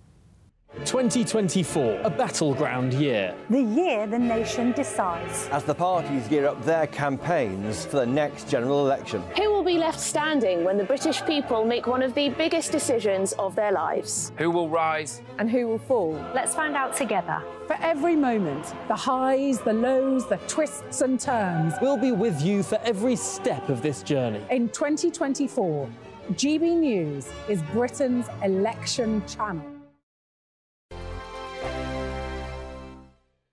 I'm Michelle Dewberry, and I'm not here to tell you what to think. I'd much rather hear what you have to say. So send in your opinions to gbviews at gbnews.com. Keep them clean, and you never know, I might read them out. With my panel here on Dewbs & Co, we debate, we get stuck into the issues of the day on a show where all views are welcome, especially yours. GB News, the People's Channel, Britain's news channel. 2024, a battleground year. The year the nation decides. As the parties gear up their campaigns for the next general election. Who will be left standing when the British people make one of the biggest decisions of their lives? Who will rise? And who will fall? Let's find out together. For every moment, the highs, the lows, the twists and turns. We'll be with you for every step of this journey. In 2024, GB News is Britain's election channel. I'm Patrick Christys. Every weeknight from 9, I bring you two hours of unmissable, explosive debate and headline grabbing interviews. What impact has that had? We got death threats and the bomb threats and so on. Our job is to do what's in the best interest of our country. You made my argument for me. My guests and I tackle the issues that really matter with a sharp take on every story. I'm hearing it up and down the country. That was a beginning, not an end. Patrick Christys tonight from 9 pm only on GB News, Britain's news channel. I'm Christopher Hope. And I'm Gloria De Piero, bringing you PMQ's live here on GB News. Whenever Parliament is in session on a Wednesday at midday, we'll bring you live coverage of Prime Minister's questions. We'll be asking our viewers and listeners to submit the questions that they would like to put to the Prime Minister, and we'll put that to our panel of top politicians in our Westminster studio. That's PMQ's live here on GB News, Britain's election channel. I think the most exciting bit for me is talking to people. People who I think are ignored often by the major news channels. We're going to give news they want to hear. There's a voice there that needs to be heard. I think there's a chance here for a diversity of opinion to be expressed, which you don't find elsewhere. It's really exciting. We don't hold back. We're free to say how decisions that are taken here affect us all around the country. Only on GB News, the People's Channel, Britain's news channel. GB News is the home of free speech. We were created to champion it, and we deliver it day in, day out. Free speech allows us all to explore and debate openly the issues most important to us, our families, and of course, the British people. Having challenging conversations to enlighten each other. Which is why we hear all sides of the argument. We are the People's Channel. We will always stand by the freedom to express yourself. On TV, radio, and online. This is GB News, Britain's news channel. I'm Patrick Christys. Every weeknight from 9, I bring you two hours of unmissable, explosive debate and headline grabbing interviews. What impact has that had? We got death threats and the bomb threat and so on. Our job is to do what's in the best interest of our country. You made my argument for me. My guest and I tackle the issues that really matter with a sharp take on every story. I'm hearing it up and down the country. That was a beginning, not an end. Patrick Christys tonight from 9 pm only on GB News, Britain's news channel. Welcome back to Lee Anderson's Real World, and we're going back in the day now with Wilfred Emmanuel Jones. Welcome to the show. Well, it's nice to be here. It's nice to meet the real man in, in real life, so thank you for inviting. Now then, you, you've had a checkered life. You were um, born in Jamaica in 1957, a little bit older than me, Wilfred, and you moved to the UK in 1961. I think you came after your parents. What was it like for you as a, as a young man coming to this great country of ours? Well, you could imagine as a four-year-old coming to this country. I could actually remember when I came here, it was in the winter, so it was the first time that I'd ever seen snow. Yeah. And it was a big culture shock because it would have been the first time that I'd seen my parents in, in three or four years. But that's the thing that happened um, in those days is that actually people like my parents decided to leave their country of birth to come to this country in order to further their lives and the lives of their children. And one of the things I like to remind people of is this. It takes a real entrepreneurial minded person to do that because for everyone who came, there's a lot of people who didn't because they didn't want to change their lives. I'm really grateful that my parents had the courage to come here because it gave me all the opportunities that I then actually had. But it's courage, and it's, it's a gamble as well. It's Wilbur. really, I just think, you know, I like to remind people from black backgrounds, look, you know, you've got to go and really celebrate your parents because Yeah. it was a Yeah. very courageous thing to do in order to give you an advantage, not for you to be a victim, Yeah. is to give you an advantage. And so one of the things makes me very, very cross is that actually, over time, with some people have developed this sort of victim culture. Yeah. We're not victims. So I don't want to create stereotypes here, Wilfred, but every single person I speak to from Jamaica seem to have cooking in their blood. They've got a, a passion for cooking. Why is that? Well, actually, you're right. So um, the uh, anybody from Jamaica would tell you about how fantastic they are with their foods. And if we had time, I could actually tell you about the origins of foods. And so jerk is what everybody would um, would know about in in, in um, the Jamaica.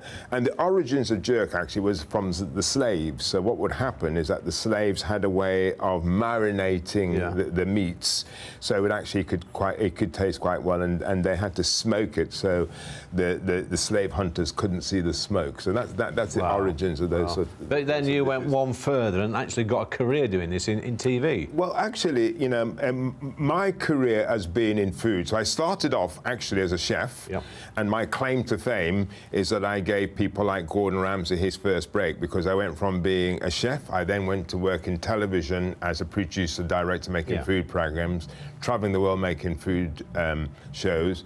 I then left the BBC and um, formed my own uh, food and drink marketing agency. Yeah. So I launched brands like Lloyd Grossman Sauces, Kettle Chips, Plymouth Gin, and then I created my own brand, the Black Farm, when I bought my farm down in Devon.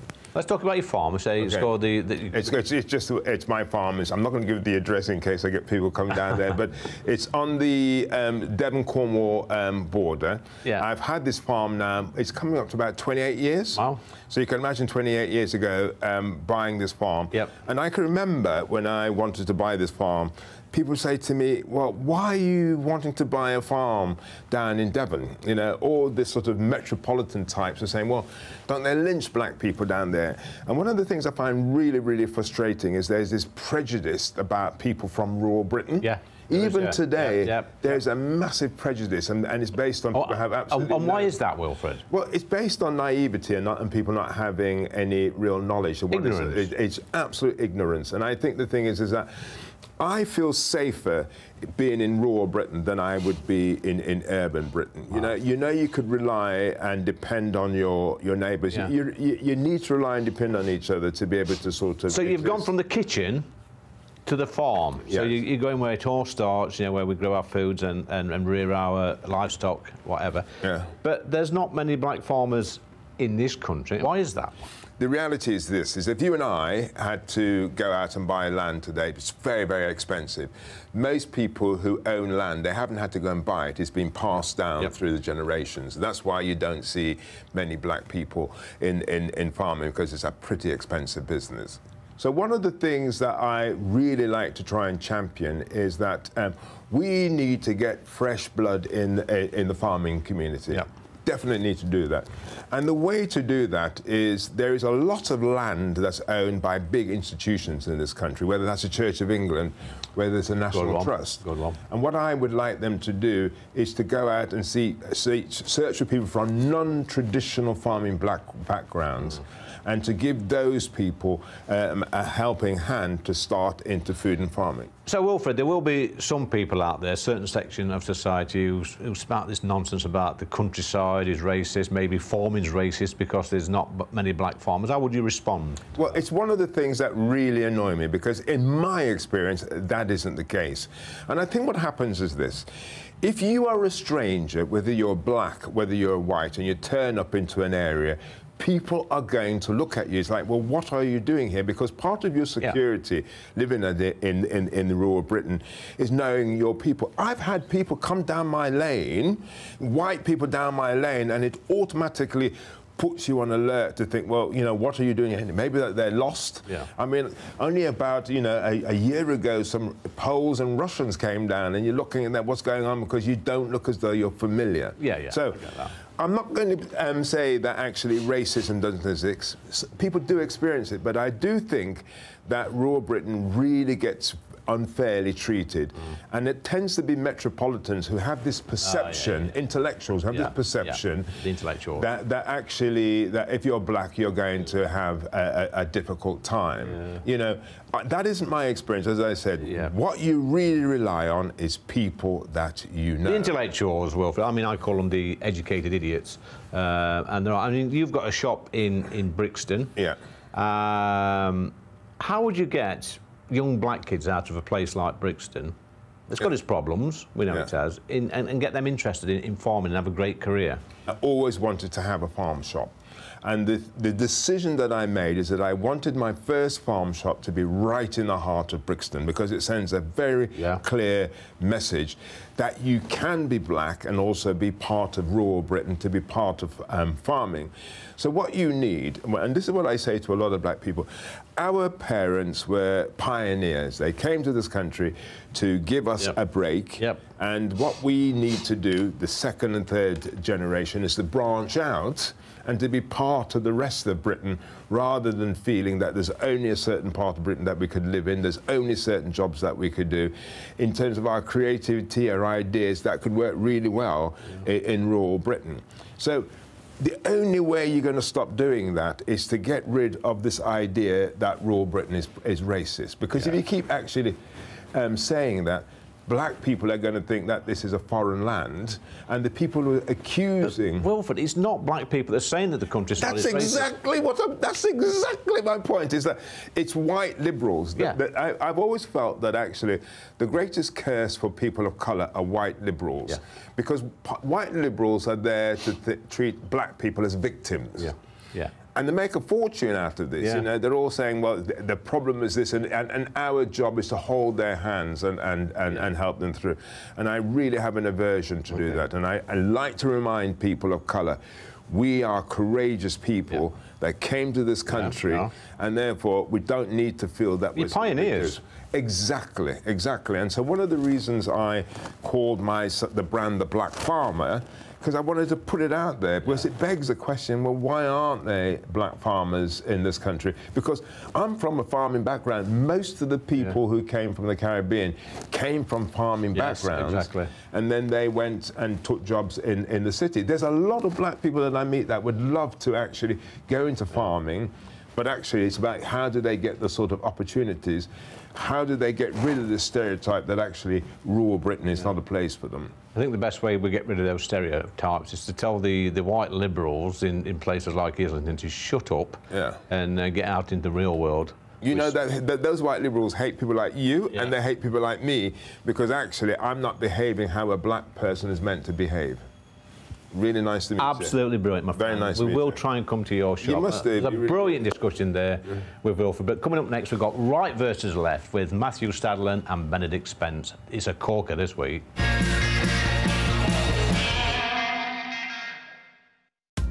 Are the newspapers getting you down? My wife didn't divorce me that month. Struggling to separate the wheat from the chaff? I know that it's a bit of a circus at the best of times. well, don't worry, Headliners has got you covered. We'll take the burden of reading the day's news, and if we get depressed, who cares? It's an occupational hazard, frankly. That's Headliners on GB News from 11 pm till midnight, and the following morning, 5 till 6 am on GB News, the comedy channel. Nah, just kidding. Britain's news channel.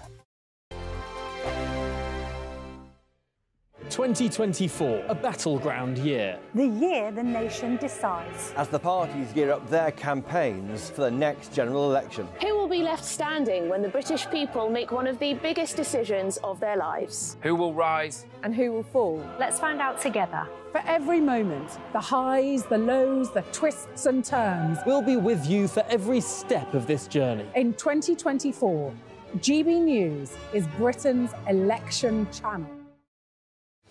I'm Patrick Christys. Every weeknight from 9, I bring you two hours of unmissable, explosive debate and headline-grabbing interviews. What impact has that had? We got death threats and the bomb So on. Our job is to do what's in the best interest of our country. You made my argument for me. My guest and I tackle the issues that really matter with a sharp take on every story. I'm hearing it up and down the country. That was a beginning, not an end. Patrick Christys tonight from 9pm only on GB News, Britain's news channel. I'm Christopher Hope. And I'm Gloria De Piero, bringing you PMQ's live here on GB News. Whenever Parliament is in session on a Wednesday at midday, we'll bring you live coverage of Prime Minister's questions. We'll be asking our viewers and listeners to submit the questions that they would like to put to the Prime Minister, and we'll put that to our panel of top politicians in our Westminster studio. That's PMQ's live here on GB News, Britain's election channel. Join me, Camilla Tominey, every Sunday at 9.30 when I'll be interviewing the key players in British politics and taking them to task. This report basically says that he's not fit to stand trial. With an upcoming election looming over Westminster, now is the time for clear, honest answers. I agree. And that's precisely what I'll get. Is he indecisive? Incompetent? That's the Camilla Tominey Show at 9.30 every Sunday on GB News, the People's Channel, Britain's election channel. I think the most exciting bit for me is talking to people. People who I think are ignored often by the major news channels. We're going to give news they want to hear. There's a voice there that needs to be heard. I think there's a chance here for a diversity of opinion to be expressed, which you don't find elsewhere. It's really exciting. We don't hold back. We're free to say how decisions that are taken here affect us all around the country. Only on GB News, the People's Channel, Britain's news channel. I'm Michelle Dewberry, and I'm not here to tell you what to think. I'd much rather hear what you have to say. So send in your opinions to gbviews at gbnews.com. Keep them clean, and you never know, I might read them out. With my panel here on Dewbs & Co, we debate, we get stuck into the issues of the day on a show where all views are welcome, especially yours. GB News, the People's Channel, Britain's news channel. I think the most exciting bit for me is talking to people. People who I think are ignored often by the major news channels. We're going to give news they want to hear. There's a voice there that needs to be heard. I think there's a chance here for a diversity of opinion to be expressed, which you don't find elsewhere. It's really exciting. We don't hold back. We're free to say how decisions that are taken here affect us all around the country. Only on GB News, the People's Channel, Britain's news channel. Welcome to Right versus Left. Joining me today, I have Matthew Stadlen and Benedict Spence. Look, guys, let's get straight to it. Sir Keir Starmer wasn't ever meant to be a Labour Prime Minister. He was meant to be a stopgap, really, for Wes Streeting to take over in, in five Well, years' who said that? We, we know that. We know that's I what. think it's fair to say he didn't anticipate, certainly this election, he Yeah. was about to become Prime Minister. Yeah. His job was to detoxify the But he's Labour done Party, such a good job. has. He's done a good job. I think he's not going to be elected because he did a good job. He did it partly, but also because Boris Johnson and successive Prime Ministers decided to set fire to their mandate. you know, he wouldn't have been elected if he hadn't That's it. done He a was good there job. to stabilise the ship, get rid of some of the lefties, you know, get a few more Well, seats then he's in Parliament, overperformed, and then hasn't he, he? would, he would have stepped He's aside after. overperformed. Let's be honest. I don't He's not think there- overperformed. I, I don't It's think there the is a Tory massive. party is underperformed. But this new poll comes out that says that a very, very large number of people compared to Sunak would would like to chat to Keir Starmer in this sort of environment in a part in a pub. Really? Because Some- he- well, well, he just- can talk about football, can't Fo- he? Well, he can, of course. Forty-eight percent say, right, that they would prefer to chat or think that they'd, it'd be a good chat in a pub. Something like, I think, 27% lead over Rishi Sunak. That's important because one of the appeals, I think, to some people of you, Lee, is they think, oh, I could have a pint with him, or Nigel Farage, I could No, have but if you said to the same set of people, don't compare him to Rishi or any other politician, would you like to go out with Sir Keir Starmer tonight for a pint? They would say no. I bet you he's a, bit. I think he's a bit more interesting. You're a bit making a more charisma- comparison. charismatic behind the Yeah, scenes. yeah. But anyway, listen. The key thing about Keir Starmer is he's a sensible, grown-up politician. From what I understand, the Labour Party is not quite as triumphal as a lot of people in the media are. And, uh, you know, to go back to the Rochdale by-election and to, you know, talk about people like George Galloway, and again, the suggestion that they might win a very large majority gives succor to some people to the idea that you don't necessarily have to vote Labour. You can perhaps do your protest vote, because it doesn't matter because they're going to Yeah, get they'll in. worry about that, Or yeah. They do worry about that because they don't think that the support is quite as strong as, say, Correct. Boris Johnson's Correct. was, Yep. that it is largely, that they don't dislike Sir Keir Starmer, Yep. but nobody is enthused But I know the Rochdale by-election might suggest otherwise, but I, I think this is what I'm led to believe that Keir Starmer has a pretty iron grip on the candidates f- ahead of the next elections. I don't think you'll get many hard leftists MPs coming in as part of the new batch if, if Labour do win big. I suspect that Keir Starmer would far rather When have you say a hard grip, Matthew, do you think he's fixing things? I don't want to go as far as to say he's fixing things, but I think he certainly has influence over who, wi- wi- over the sort of candidate that is going to be put forward. I suspect that quite a few Tories will stay away from the polls this time, like they did in '97 when Blair won that landslide. Some will go to, to reform. Keir Starmer has done enough to reassure some Tory voters that they don't have to turn out this time. And that's, as, uh, that's almost as good as, as, as making a whole load of new people say, yeah, we're desperate to vote Labour. demoralising your enemy being better than necessarily converting them, I suppose. But uh, Matthew says that um, Sir Keir's overperformed. Mm. I disagree. I don't think he's performed very well at all. He's had a poor opposition, well, a poor government to, to compete against. You were the deputy chair of the poll Yes, until a couple of months ago. Well, all I can sit here um, a- a- and say these things, um, Matthew. why, you, why did you accept the job then? If you Deputy chairman. you thought they were so we poor? weren't. To be honest, when I accepted the job as deputy chairman, that was in, I think that was in February last year. Um, we were in a much better place as a party at, at that stage, and you know, over the past year or so, I always say um, to my colleagues, I'm pretty sure there's somebody in number ten lies awake at night thinking of ridiculous things to say the following day cost us even more votes. Some people Um, might say that of you, though, Lee. Well, no, no, because my, my job was membership. My job was to go around and rally the troops, get people to sign up, to motivate, uh, to motivate the troops and to speak after dinner, which I did very successfully. I probably spoke at over 100 associations up and down the country, raised lots of money for the campaign, and I'm very proud of what I did because there's still a lot of people, good people within the Conservative Party who are classed as my friends, but you know, it's number 10. Um, and But how know, can you say Starmer hasn't done a good job? Think, Well, he of, hasn't where- done think, of where the Labour anything. Party was under Jeremy Corbyn. People like me, who'd voted Labour all my life, could not vote Labour when Jeremy Corbyn So was leader. It was a But again- disastrous result in 2019, and we're now talking about the possibility of a landslide. Again, it's questionable how many people are going to sort of come out for Sir Keir Starmer, because what we're talking about is simply people not turning out for Rishi Sunak. And I mean, it's it's a very frustrating position, I think, for a lot of people on the right. Look, because guys, even though it's not likely that Let's nip this in the bud. Matthew's getting excited. Um, again, we're going to do the yes or no quiz. I've got five questions. You know the rules. Um, that we, we have got a character that comes in here called Stephen Pound. He's been on about 10 times and he's never won it yet. And he's I've won it every time I've got. got- yeah. I'm worried about this chap, though. Uh, Benedict has done this before. So, first question, Benedict. Should we have a referendum on leaving the E ECHR? No. no. Matthew, should boats in the channel be turned back the same day? No. Yes. Benedict, will Donald Trump win the US election? yeah, he will. Ah, sorry, mate. It was a yes. Uh, he will.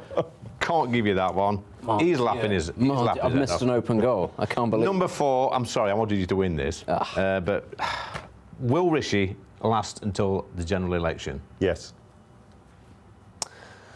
No. And final question is: Will Labour have a landslide victory at the general election? Yes. Yes.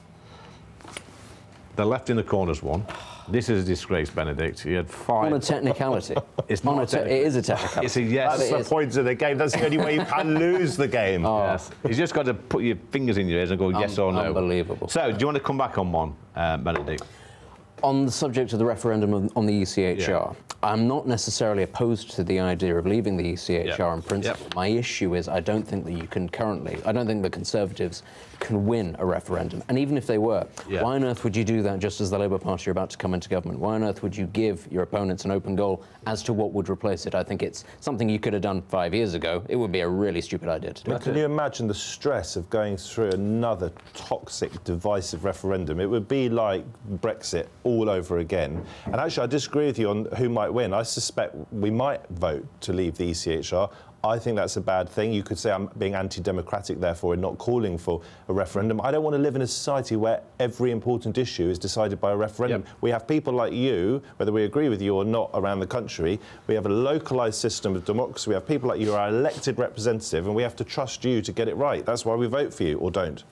So you like local representation? I think it's important. I, I, I was But you also I- like the ECHR as well. I, uh, look, I'm, no, because I think there's a point. Do you see where I'm going on this I, one? I absolutely can, and it's on the face of it a clever point. But I think having international checks and balances, being part of an international legal system where we actually sign up to some important core principles, such as, like you'd agree with, freedom of expression, freedom of thought, liberty, life, all those sorts of things, and fair elections. Just, a, uh, just a quick one. I was interviewing. It's always a quick one, isn't it? I was It's interviewing. always a quick I one. was I've been on there for 10 minutes. Interviewing Theresa May, Yeah. and I would be critical of her, Name's of course, when she was Prime Minister. But we were on stage together, and sh- there's something that is very impressive about her, and that is that even when she was Prime Minister, she worked hard, it seems, for her constituents. She still went round knocking on doors. She understood that the only reason she was able to be in a position to be a number 10 was because her, her local constituents voted her in. I think that's precious. Yes. Don't you? Not really. I think. Uh, well, tell that to your constituency and they might beat you out. at the next Well, look, we'll see, we'll see. Um, hopefully you'll come up and help me on the campaign trail. Can you imagine? In Ashfield. Benedict, I'd love to have you up there knocking a few doors. Look, that's been a, another lively discussion, but coming up next, we've got Last Orders with former glamour model Danielle Mason.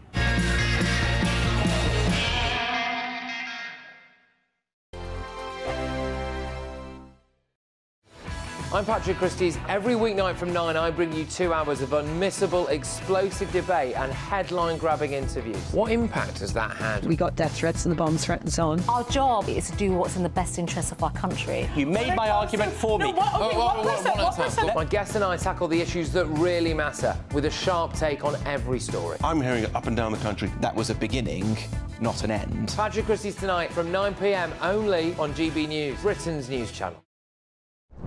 I'm Christopher Hope. And I'm Gloria De Piero, bringing you PMQ's live here on GB News. Whenever Parliament is in session on a Wednesday at midday, we'll bring you live coverage of Prime Minister's questions. We'll be asking our viewers and listeners to submit the questions that they would like to put to the Prime Minister, and we'll put that to our panel of top politicians in our Westminster studio. That's PMQ's live here on GB News, Britain's election channel. Join me, Camilla Tominey, every Sunday at 9.30 when I'll be interviewing the key players in British politics and taking them to task. This report basically says that he's not fit to stand trial. With an upcoming election looming over Westminster, now is the time for clear, honest answers. I agree. And that's precisely what I'll get. Is he indecisive? Incompetent? That's the Camilla Tominey Show at 9.30 every Sunday on GB News, the People's Channel, Britain's election channel. I think the most exciting bit for me is talking to people. People who I think are ignored often by the major news channels.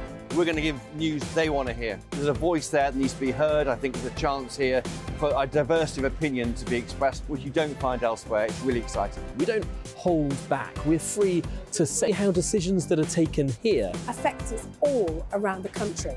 Only on GB News, the People's Channel, Britain's news channel. I'm Michelle Dewberry, and I'm not here to tell you what to think. I'd much rather hear what you have to say. So send in your opinions to gbviews at gbnews.com. Keep them clean, and you never know, I might read them out. With my panel here on Dewbs & Co, we debate, we get stuck into the issues of the day on a show where all views are welcome, especially yours. GB News, the People's Channel, Britain's news channel.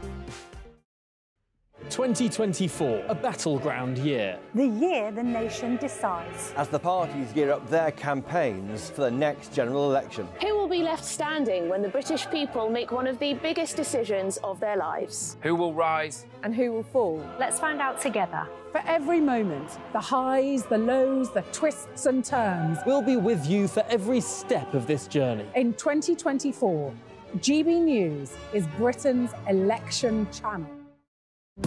GB News is the home of free speech. We were created to champion it, and we deliver it day in, day out. Free speech allows us all to explore and debate openly the issues most important to us, our families, and of course, the British people. Having challenging conversations to enlighten each other. Which is why we hear all sides of the argument. We are the People's Channel. We will always stand by the freedom to express yourself. On TV, radio, and online. This is GB News, Britain's news channel.